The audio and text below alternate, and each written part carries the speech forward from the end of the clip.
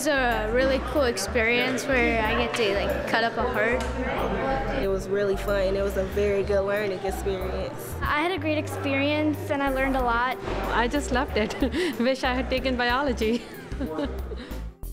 The Science Center offers a number of programs for the public.